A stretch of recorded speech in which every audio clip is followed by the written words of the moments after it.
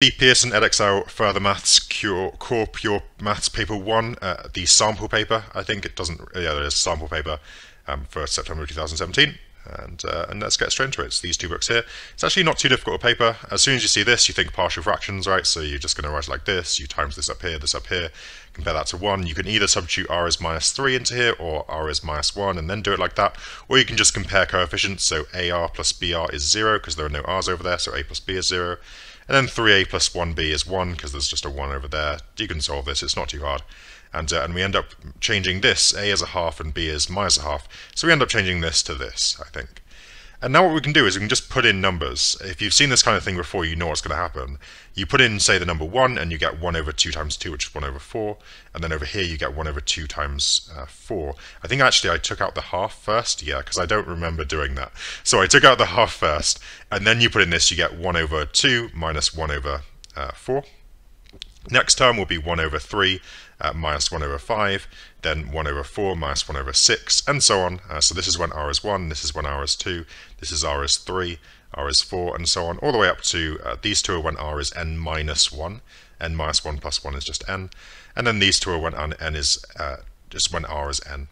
Now what's going to happen here is this minus a quarter is going to cancel with that plus a quarter, this uh, minus a fifth is going to cancel with that plus a fifth, and then, of course, the minus a sixth will cancel with the plus a sixth that comes after this plus fifth, because that's the first one. The pluses are the first term, so they're just going up in ones. So a lot of stuff cancels. It's called a telescoping series.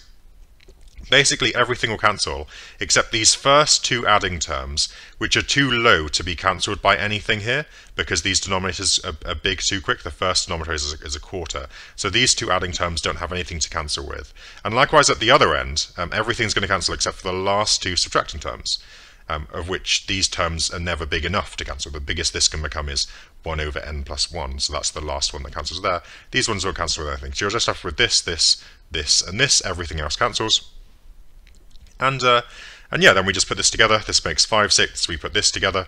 I times this one by the two algebraic things, n plus 1, n plus 3, and then times these two by the other algebraic thing and by a 6 top and bottom. There should be a 6 down there. Apologies for that typo. There should definitely be a 6 there to cancel with that sixth, but I'm, I'm pretty sure you know what I'm talking about. Uh, this becomes this when you expand that out and you collect these two, so this is minus 6n, minus 6n makes minus 12n, minus, uh, that's minus 18, minus another 12 makes minus 30, and then you deal with that, and, uh, and eventually you end up with the thing that they want you to have. So good, nice, easy uh, warm-up question, I thought. Uh, second is a proof by induction. So uh, we let n equal 1, and we put 1 into a calculator, and we get this, uh, which is definitely divisible by 17. So it works for n is 1. So now we assume that f of n is divisible for any k where k is a positive integer. Right, so we assume that this is divisible by 17 where k is a positive integer, and then we investigate what happens when n is equal to k plus 1. So we put in k plus 1 into this. This becomes 3 times k plus 1, which is 3k plus 3, and then plus this 1, and then 2k plus 2 plus another 1. Simplify that, and now what you're trying to do when you do proof by induction is kind of sledgehammer the assumption step into the work that you're doing. So here we have a 3k plus 1, and this is a 3k plus 4, so let's just get rid of three of these by doing that. Right, so we say this this indice would add up to, with this indice to make that. So let's just separate out again because that gives us something that's in the assumption step. And likewise, exactly the same here. But of course, 2 to the 3 is 8, and 5 squared is 25 times 3 is 75, so we end up with this. And now again, thinking about sledgehammering this assumption step in here, um, let's see if we can work out how to get this get this to work. So 8 of these first terms would have to match with 24 of the second terms. So let's break this into 24 lots of them plus another 51 lots of them. And as soon as you do that, you realize that you're pretty much done here because this is 8 lots of the assumption, which is perfect. 8 lots of the assumption, that's definitely divisible by 17 by the assumption step. And this is 3 lots of 17 which is divisible by 17 because it's got a 17 there. So this is some two things that are divisible by 17 adding, um, and so n equals k plus 1 is definitely divisible by 17 if n equals k is, and because n is 1 is true, means, so if basically if there's ever a case where it's true, it's true for the next one, but it's true for 1, so therefore it's true for 2 and true for 3, and that's what induction is, perfect. You write a little sentence that kind of summarizes that and you're done. Good. This question, lots of ways to do this, I'm sure. It's it's it's a big question, nine marks. Uh, I decided to go with, with sums of root stuff, so I said the four roots, if, if we call, well, firstly, we've got a free root here of 3 minus 2i, haven't we? A complex conjugate. So that's good. Now, if we call the other two roots um, alpha and beta, the four roots multiplied together must make 65 over 1, which is just, of course, 65. And now these two roots multiplied together, I believe, make 13. Divide by 13, and you get the two things you're looking for, multiply to make 5. Now, the other information we have, we don't have B and A, um, which you could find, by the way, but I never bothered to. This term will be the sum of the pairs of products of roots. So in other words, alpha beta plus alpha this plus beta this plus alpha that plus beta that plus this times that is equal to 6 over 1. There's no negative because they're paired up. Um, so it's going to be one of the positive ones. So all of the different pairs you can think of multiplying of roots equals 6 over 1. Uh, lots of this we know, right? This is nice. The 2i, 2i cancel with the alpha, so we just get 6 alpha here. Likewise, we get 6 beta here. These already know we make 13. And, and, and a alpha beta we know is 5. Um, so we end up with, with this here, I think. I factorized out of 6. I don't really know why. Just divide by 6 there and you get minus 2. So we're looking for two things that multiply to make 5 and add to make minus 2. You could, of course, rearrange one of these and put it back into here. Or you could think, you know, going back to sort of year 8 maths, looking for two numbers that add to make that, multiply to make that. That sounds like a quadratic. So we can just sort of jump to the quadratic we need. If you put the two things like this, I think this is the quadratic you'd be needing, because minus alpha z plus minus beta z makes plus 2, I think, because if you have minus this minus this, you get plus 2. Um, so I think if we think about the quadratic that would contain these as roots, um, I think it would look like this. And of course, alpha beta, or minus alpha times minus beta, is just alpha beta, which is 5. So we can just solve this, and that will give us alpha and beta. We don't know in which order, but we also don't care. So we solve that maybe using calculators or quadratic formula or whatever, and you get this, which is this. And so alpha and beta are this. It doesn't matter which way around. We don't really care. Um, it's just asking us to sketch these, so of course we'll just sketch them with a real imaginary axis, label them, and I think that's all we have to do. Um, of course, if you weren't so happy with this step, just do it the normal way. Rearrange this to be maybe alpha equals minus 2 minus beta, and just shove that into there, and then you get a quadratic just in beta, which will give you two possible answers, which will be these two, and then alpha is the other one. Good. Um, so let's do this question then. So it's talking about area of polar coordinates, so we know we're going to use the formula half r squared. I think somewhere half integral of r squared between the two lines um, that we're interested in. So, okay, of course, we've got the in initial line here. Like, uh, my plan here to find this area is to do the integral of the polar thing between this initial line and a. That gives me all of this cone thing. And then just take away this triangle. So I've got a few things to do. Let's first find this coordinate A. They've given me the information to do that, I think, because it tells me that uh, the point A is where r is 9 over 2. So if I just shove 9 over 2 into there and solve for theta, uh, this is 4.5, so that makes a half. Cos inverse of half is pi over 3. We should all know that. Divide by 2 is pi over 6. So this is the point uh, 9 over 2 pi over 6. But more importantly, this is the line pi over 6. This, this has um, angle pi over 6 there, which means to find all of this cone area, I just need to integrate r half of r squared between 0 and pi over 6, and that's what this is representing. But of course I'll also need to take away this triangle. Now I thought the easiest way to do that was to say, okay, well if that's 4.5, um, that's the length of this via this, and if this is pi over 6, I think I can just do some very quick trig to find this length and this length. Um, this length is going to be 4.5 cos pi over 6, which I believe is this, because cos pi over 6 is root 3 over 2, and cos, sine pi over 6 is a half, so this is just going to be 2.25 because it's just half of that. And now, of course, the area of this triangle is just a half times this times that. I think I went back to uh, fractions here because it says exact at the end and, and with this and stuff. So, um, so yeah, this is 9 over 4. I know this is just a horrible piece of writing, but I really couldn't be bothered to do this properly. Um, this is, of course, 9 over 4 because that's 9 over 2, and this is just 9 over 2 halved, which is 9 over 4. And, of course, we can deal with that, but, of course, we can deal with this as well. We expand these two these things out, so it's, it's a square, isn't it? So it's 4 plus 2 cos 2 theta times 4 plus cos 2 theta, which makes this, I think. Uh, and all of this, I mean, this just turns into this. All of this is integrable, except really for this term. So we, uh, and, and, basically the only double angle formula that I bother to keep in my head is this one, because I can say, well, sine squared is 1 minus cos squared. So this is cos squared minus 1 minus cos squared, which becomes 2 cos squared minus 1. So I don't actually know this one on the top of my head. I always just work it out very quickly from this one. And then if I rearrange that, I get this. And of course, if there's 2 theta here, then that means there's 4 theta here. And I think I can just shove that into there. I've also split this in half there. Um, I don't really know why, but I did. I think I took out a factor of a half here. I did, good, because that makes this a 1, which adds to that. You double these two because you don't have a half to take out of them, so 32 plus 1 gives me 33. Double that is 16. Uh, double that is this, which is why I did it, and then I've got rid of that and put it in there. And of course this is all very integral now, so I'll just integrate it. This ends up being quite nice because when you put in 0, of course, everything goes away because sine of 0 is 0. When you put in pi over 6, you can use a calculator. This is all actually doable without one if you know your exact values, so that's quite nice. Um, it is doable without one. I, I, I, did it with that one just for the practice. Sine of pi over 3 is root 3 over 2 times 8 is 4 root 3. Sine of 4 pi over 6 is 2 pi over 3 is still root 3 over 2 which becomes root 3 over 8. Put these things together. Again, good non-calculator practice, though of course you have one, so you can just use one if you want to. Um, and then you put these last two terms together. Of course, this simplifies a little bit. Um, to that, I think, yeah, it looks good. And we have our final answer, which is nice. Good. Uh, question number five. I don't really like these questions very much, but it, it's just these four marks that I don't like very much. But I'm sure with a bit of practice, I'll, I'll probably get a bit, a bit, bit better at them. So we have a thousand litres of unpolluted water. Pool is leaking, constant of 20 per day, but we're water is flowing in at a rate of 25 that's contaminated with 2 grams per litre of this pollutant, which they're calling X. So the pond contains any time t, where t is the number of days. The pond contains this many litres of water because it's losing 20 but gaining 5. So that's a net gain of 5 per day. So initial 1,000 5 per day gain.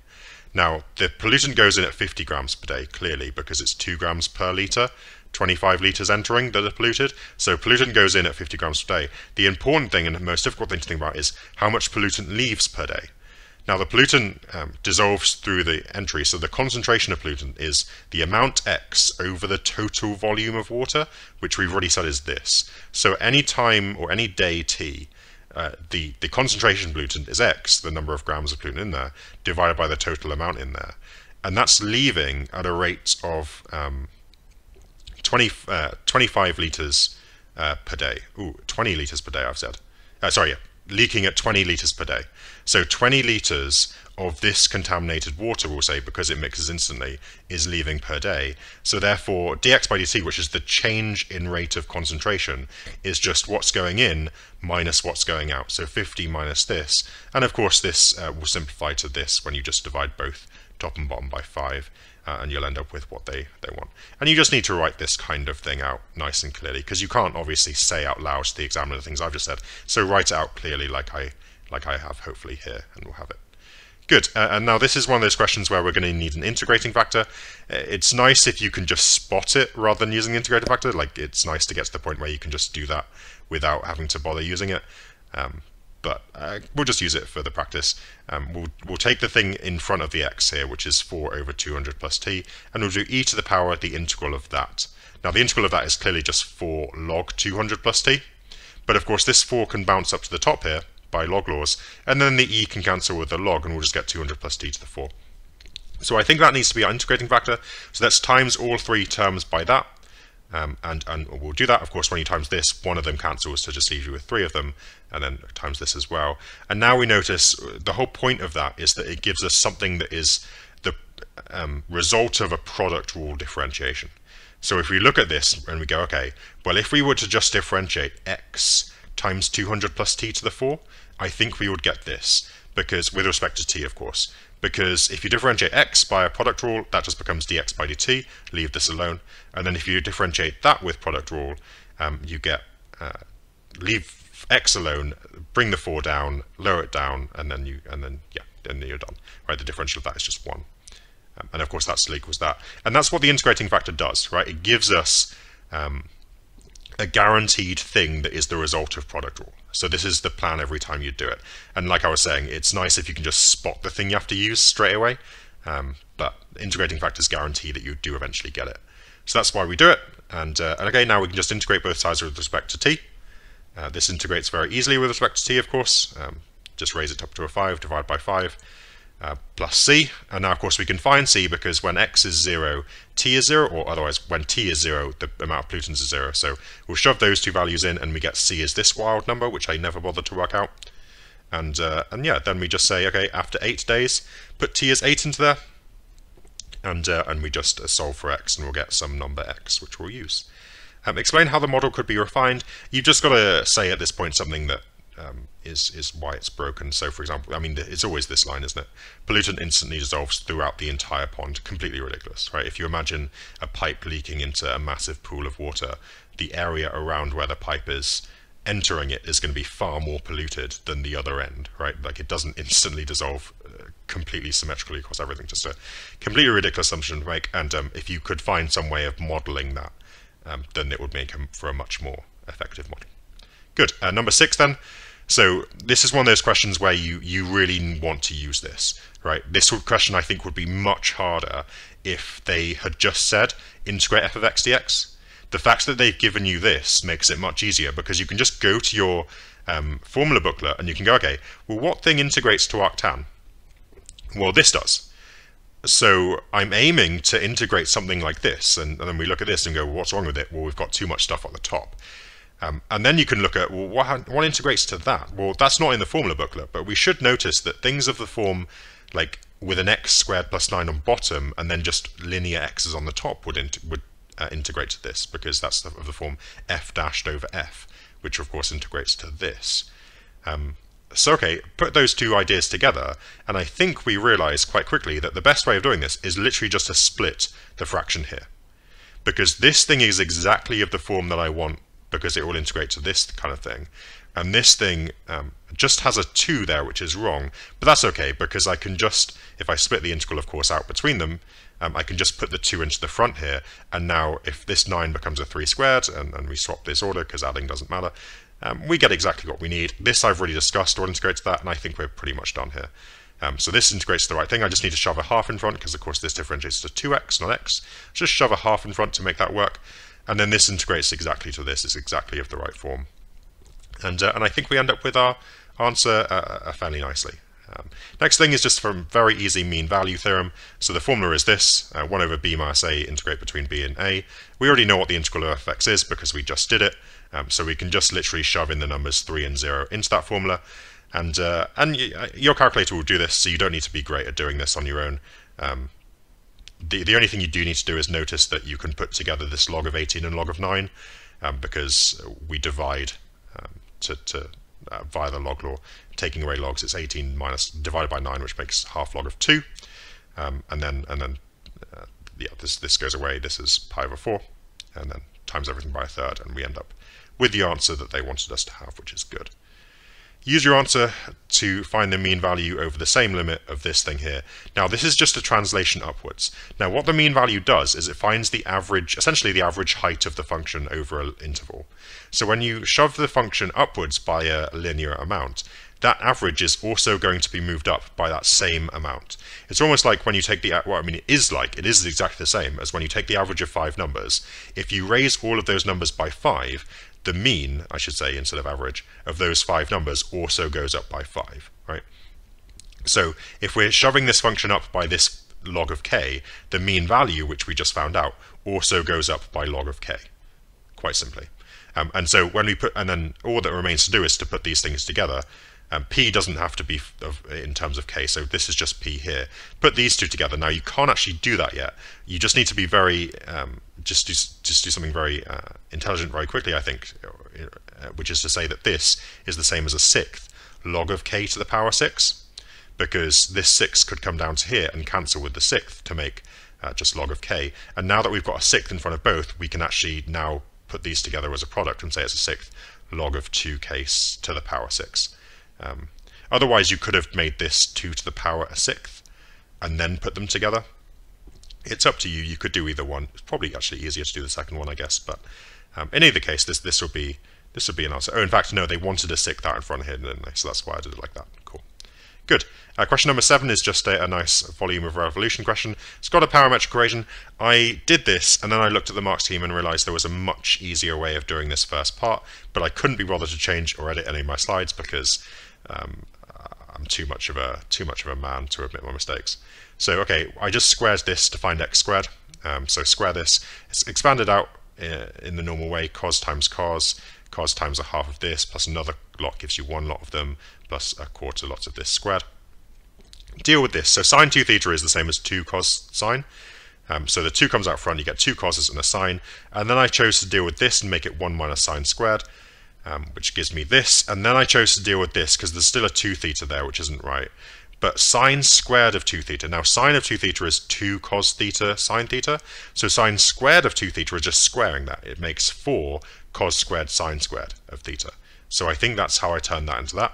So play back that video and go back over my explanation if you just need to that. I probably could have just jotted it down over here somewhere, but I chose not to. So that becomes that. Expand all this out and tidy it up, and eventually you end up with this. I also replaced this cos squared with another 1 minus sine squared, um, just to get it all in terms of sines. And the reason I was aiming to get everything in terms of sines was because y is in terms of sine, and I was trying to write it like this. Now at this point I realized what would be easier to do is to start over on this side now and sort of meet in the middle. So starting over this side, y to the power 4 is just this to the power 4. Um, uh, of course, some binomial expansion gets me that very easily. Now, I've missed out the minus because I don't need it. When you raise something to the power 4, the minuses will all go away, of course. Now, y to the power 3, that won't be the case. So I will put a minus in the front because there will be a minus left over. And of course, there's 2 in the front as well, but this bracket here is just y cubed if you ignore the minus. And then I said, well, what's this plus this with a minus in front? Oh, I, I, simplified that, of course. And then this plus this with a minus in front gives me all that, which simplifies to that, which is exactly the same as what x squared was simplifying to.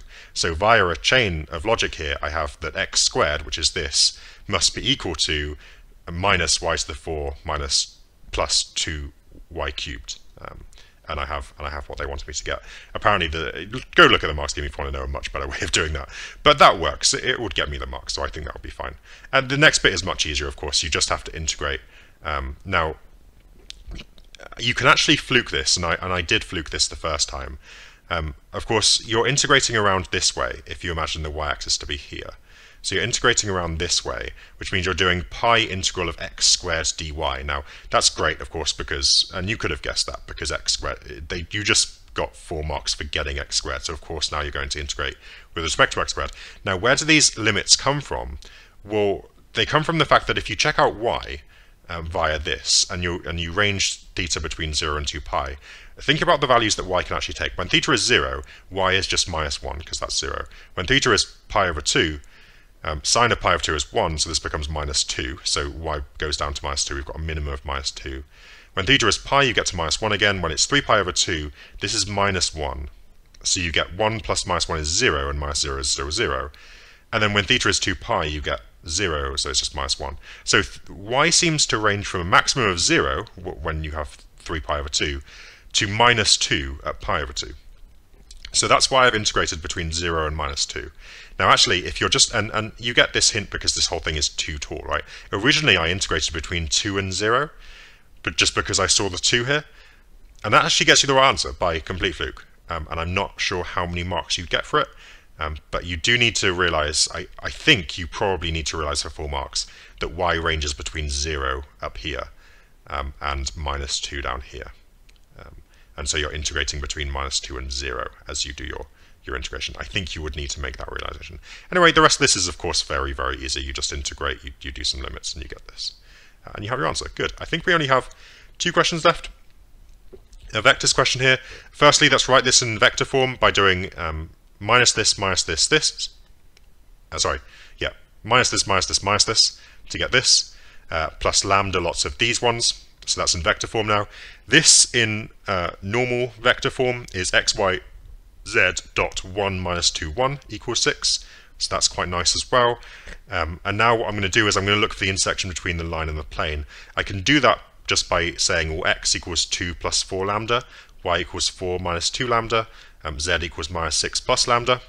And now I can put those values into this dot product to say 1 times 2 plus 4 lambda minus 2 times 4 minus 2 lambda and so on equals 6. So uh, uh, in fact, you don't even need this, do you? You can just put those values straight into there. And you'll find lambda is, is 2, which means when lambda is 2, you have an intersection point of 2 plus, uh, 8, which is 10. 4 minus 4 is 0, and then um, minus 8, is it? Or minus 4, minus 6, minus 2, sorry, plus 2 is minus 4. So that's our intersection point uh, of the plane and the line. Um, that's a very standard method. And, and what I decided to do here is draw this. So this is the plane. We're looking at the plane from directly above right? So it, just looks like a 2D line. Uh, so looking at the plane directly above, and then we have a line that sort of goes through it somewhere, like this, and that's the line L1, and we have an intersection point of 10, 0, minus 4. And that's a true intersection point where, where it goes through like this. Okay, and now when we reflect the line, if we're looking at it from above, the reflection is going to look like this. So that's this is L2, and this is the line that I'm looking for. Now, I already have, of course, a point on L2, which is the one I just found, which means if I want the vector equation of L2, all I really need to do is find another point on this line. Um, and what I decided my plan would be was, if I find another point on L1, I could reflect that point to give me another point on L2, and then I would be fine. Then I would have two points and I could just come up with a vector equation, which would be nice and easy. So okay, let's come up with another point on L1. The easiest point is just to choose lambda 0 and you get this point here. So let's just pretend that point there is there. And now how do you reflect this point in the line here? Well, what I chose to do was draw a normal line through this plane and through this point here. So here's a normal line that goes through this point here that I've just said, hits the plane at a normal perpendicular angle, 90 degrees, and then goes through this line over here. Now, this is really useful uh, and a really good idea because kind of the whole point of this form is that this is the normal direction to the plane. So the direction of this line is these three numbers here. And of course, that means that the vector equation of this line is just this point plus maybe mu of this direction vector. So that's the equation of this line here. I probably couldn't, shouldn't have called it a vector. It's probably a line, but anyway, and um, that's the equation of this line here, uh, just there. I, probably some copying and pasting uh, was my downfall there. But anyway, we get this here, and now I can do exactly the same thing with this line and the plane to find this coordinate. So let's write this out in terms of x, y, z. So x is this plus 1 mu, uh, y is this minus 2 mu, z is this plus 1 mu, and that finds the intersection between this and the plane by again just taking this x, y, z and shoving it into the equation for the plane. Exactly like we did the first time. Simplify that and you get mu is 3. So this line here, this normal line, intersects the plane um, when mu is 3. So we shove mu is 3 into here and we get 2 plus 3 times 1 is 5. Um, and, and, then 4 minus 6 is that is minus 2. Minus 6 plus 3 is minus 3. And so that's the coordinate there. And the reason this is super helpful is because, of course, this is a reflection. So whatever distance you went from here to here in x, you're going to do again to get to 2 to 5 to 8 as your new x coordinate. 4 to minus 2 is down 6, so down another 6 gets you to minus 8. Minus 6 to minus 3 is up 3, so up another 3 gets you to 0. And this is my, my point that I now have on L2. And now my plan is done because I have two points on L2, so all I have to say is that the line, the vector equation of L2, just pick one of the points, I picked this one, just pick one of the points, doesn't matter which, and then find the direction vector from here to here, which is 2 to get from 8 to 10, 8 to get from minus 8 to 0, minus 4 to get to there to there, and then choose whatever letter you want, and you'll have a vector equation for L2. And I think that will be um, an acceptable answer. Excellent, good question that one. And lastly, we've got a differential equations question, of course. Um, so it's about a fairground ride that's going up and down, it's oscillating with this motion. Maximum weight 30,000 newtons. Uh, G is 10 apparently, because why not, I guess. Just make the Earth millions of kilos heavier, that'll be fine. Um, should have more mass is what I should have said, whatever. Explain why the value of m is 3. Well, F equals ma. Um, you're told a is 10, so you do 30,000, which is the force, divided by 10, which gets you 3,000, and m is in terms of thousands of kilos. So 3,000 is 3 in thousands of kilos. So m is 3, I guess, is, is what we can say there. Okay, because we're assuming that the, the weight is at its max, which is cool. So m is 3. So that gives us a differential equation of 3 here, which is good, because that means I can solve the auxiliary equation. Uh, which actually isn't what I'm supposed to do first. I'm so first so, supposed to show that this is a particular solution, so I'm, I'm kind of looking at this bit here. So all we have to do is, is take this x, differentiate it once, to get this, sine differentiate to cos, cos to minus sine, differentiate it again, to get this, same two rules, and then shove those three results into here with m is 3, and then 4, and then just x over there. And what you know, this uh, simplifies to 200 cos t, you can do that can check it out if you want to, but it does, it simplifies to this, which means this is a particular solution, because when you put it in, it, it makes this work here. Of course, it's not the general solution, um, because we would also need the other bit for that. Um, is it called the complementary function? I can't remember any of the names. I think it is. Anyway, so we take the auxiliary equation and we solve it. So we solve this. It actually gives us two real roots if you put it in the calculator, which is cool because that means it's a it's the solution of the form um, a e to the first root plus b e to the second root. And then of course we just take this general solution, add it to the um, particular solution, and we'll have our general solution uh, there. Okay, and that's good. Usually you do that in the other way around, don't you? Usually you solve this first, get this, and then you would say, okay, uh, a thing that I would want there is like something of the form a sine t plus b cos t, and then you differentiate a couple of times to try and find the unknowns, but they just gave it to you, so kind of a, an interesting way of doing it. But anyway, so we have this as our general solution. Um, we can find a and b here because we know when t is 0, the displacement is 0, so we can shove those values in. Of course, these become 1s when you put in 0, and that goes away, and that doesn't, so we get a plus b is 20.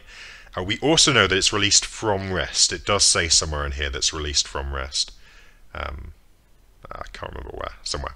Um, so that means that dx by dt is 0 uh, when t is 0. So we can find dx by dt by just differentiating all this, which isn't too hard. Um, then we can shove in dx by dt is 0 um, when t is 0. So we shove those values in, we get this, which we can times everything by, I think I times everything by minus 3. That shouldn't be a 3b, should it? Uh, that's a typo. That should be a singular b. And then I times everything by minus 3 to make it a plus 3b. So that should just be a regular b. Regular minus b, I guess. That's a typo there. But anyway, you get this uh, uh with this, which you can solve for a and b. Um, by I think I just did this one minus this one to get 2b as 100, which gives me b as 50. And then, of course, looking at this, this gives me a as minus 30. Shove those values into our general solution. And, uh, and I think we're pretty much done here because we just need to shove in t as 9 and, uh, and type it into a calculator and we get our answer to the nearest meter of 33. I think that's the last question. It is the last question. Thank you so much for watching and I'll see you next time.